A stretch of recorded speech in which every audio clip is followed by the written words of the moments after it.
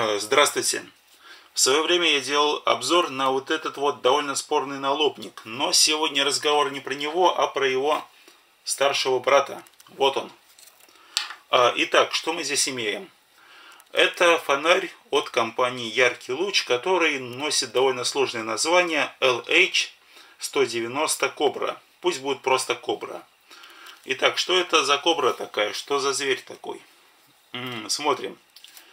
Светодиод с очень таким специфическим рассеивателем, который позволяет э, давать яркое свечение, но оно не дальнобойное. Но об этом отдельно посмотрим на примере, так сказать. Дальше кнопка. Сверху у нас располагается кнопка. Э, как видите, она грязная. Почему она грязная? Потому что выполнена из материала прорезиненного. И вот этот материал, он очень склонен быстро пачкаться. Ну, своеобразный минус. Хотя, с другой стороны, вот сочетание черного с, э, с салатовым, оно очень приятное на самом деле. Не знаю, насколько точно передается цвет, но, впрочем, есть у меня фотографии, сделанные при дневном свете, и там все это хорошо заметно. Дальше, с другой стороны. С другой стороны у нас зарядка. Зачем здесь нужна зарядка? Дело в том, что этот фонарь рассчитан, э, рассчитан на аккумуляторы 18650. И здесь действительно стоит аккумулятор 18650 прямо от производителя. Да, э, фонарь поставляется с аккумулятором в комплекте. Это плюс до определенной степени. А вот зарядка, это, я бы сказал, такой сомнительный плюс. Встроенная зарядка. Тут в чем прикол? Фонарь используется, ну, недолго на самом деле, 2-3 недели. И вы отчетливо можете видеть, что зарядка плотно не закрывается, а она должна закрываться плотно, чтобы туда не попадала ни грязь, ни пыль, ни тем более влага, иначе фонарю придет смерть. Да? Но при этом изначально, изначально, ну вот, как видите, она просто сама собой отходит минус. Это явный минус. А, со временем, скорее всего, она просто отвалится. Дальше, что у нас внутри? Ну, не буду говорить про держатель, да, обычный налобный держатель. Даже написан яркий луч. Ничего особого, если честно. А, регулятор, регулятор довольно интересный, да, он такой плавный, можно выставить любой угол, и это здорово, на самом деле, это прикольно. Но это было и в маленьком, да. Здесь ничего особого нету. Дальше. Что у нас внутри? Давайте разберем, посмотрим. Так. Здесь вот за такой вот крышкой сразу можете оценить качество продукта. Да? Не очень впечатляет, правда? Более того, если внимательно посмотрите, здесь пружина, э, вместо пружины используется пластина. Именно пластина подпирает аккумулятор. Причем с двух сторон пластины установлены.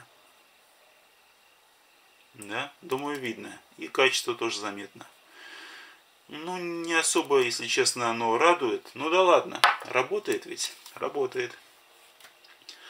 Вот эти вот пластины вместо пружины имеют свои минусы. Причем действительно важные минусы.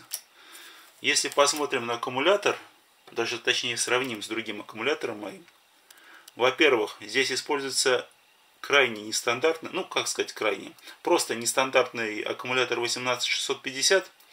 Он, во-первых, длиннее на 2 мм, а во-вторых, у него выпуклый контакт. Да, здесь плоский, а здесь выпуклый. И именно из-за этих характеристик, из-за того, что он длиннее и у него выпуклый контакт, э, другие аккумуляторы 18650 сюда просто так не поставишь приходится мудрить, да, подкладывать что-то. И это, честно говоря, не очень удобно. Давайте посмотрим, что за аккумулятор идет в комплекте.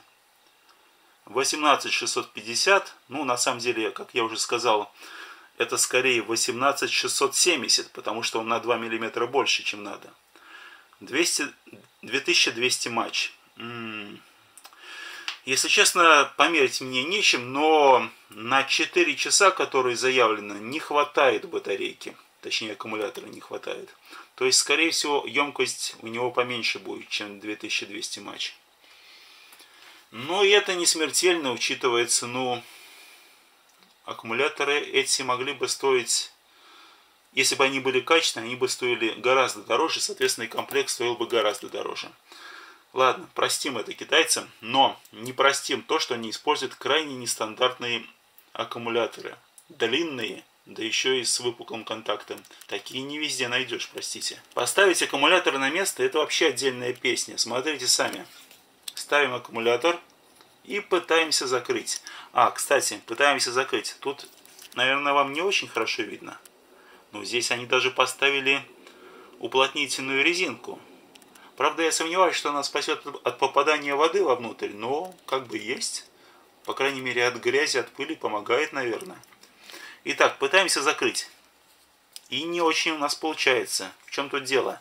Тут, в принципе, используется даже не резьба. Тут хм, здесь надо хитро подгадать, чтобы крышка попала в паз крайне неудобная система. Ну, просто крайне неудобная система. Э, данный фонарь имеет э, три режима работы. Это 190, 60 и 10 люмен. По крайней мере, так заявлено. Вполне может быть, светит неплохо. Но это я покажу отдельно. Э, что касается цены данного фонаря. В России он продается где-то примерно за 20 долларов. Честно говоря, я не совсем понимаю, за что здесь хотят 20 долларов, но да ладно. По-моему, за 20 долларов можно найти более интересные варианты. Возможно, даже не 18650, но тем не менее более интересные и более надежные. А то как-то не прошло еще и месяца, а он уже начинает разваливаться. Нехорошо, если честно. А, и еще один интересный момент, который я подметил, связанный с этим фонарем. Смотрите внимательно. Этот фонарь выпускается под маркой «Яркий луч». Да? яркий луч. Смотрите, как, говорят, как говорится, за руками. А этот с абсолютно тем же дизайном, с абсолютно тем же дизайном, выпускался, по крайней мере, раньше, под маркой Трак. Да, как вам? Китайцы умудрились один и тот же дизайн продать двум разным брендам. Молодцы китайцы. Да, кстати, кто сомневался, фонари делают в Китае. Ну, я думаю, тут все даже без напоминания об этом догадаются. Но вот это меня, честно говоря, поразило. Два разных бренда закупают у китайцев один и тот же дизайн, и у них это не вызывает вопросов. Хм. Нехорошо как-то, честно говоря. Нехорошо. Ну да ладно, выбирать вам, как по мне, вариант так себе. Если маленький еще более-менее, то вот этот взрослый, так сказать, Слишком здесь много косяков. Пока. К сожалению, моя камера отказалась записывать тесты на улицу в морозную погоду, поэтому показываю в домашних условиях. Итак, включаем. Включается изначально самый мощный режим 190 люмен. Очень ярко на самом деле. Свет такой рассеянный, без каких-то засветок, да, равномерный. Но с другой стороны он очень недалеко бьет, буквально на несколько метров вокруг видно. И еще что меня очень сильно напрягает, это звук. Слышите? Вот это, вот это верный признак э, дешевизны китайского товара, да, вот этот шум. Неприятно, если честно. Ну да ладно, давайте следующий режим. Второй режим – 60 люмен. И последний приходится так перещелкивать, чтобы дойти до нужного режима. Это э, режим в 10 люмен. Э, на самом деле очень даже неплохой режим, чтобы показать, я специально книгу принес. Знаете, вполне можно читать при нем. Очень даже неплохо. И еще одна интересная фишка есть, кстати говоря. Если зажать кнопку на фонарике, то происходит плавное изменение яркости. Да? Зажимаем. Как видите, уровень яркости меняется. Ну, относительно плавно. Я вижу, что на камеру это не так красиво отображается, как в реальности, но, поверьте, глазу это, эти помехи не видны. Вот как-то так.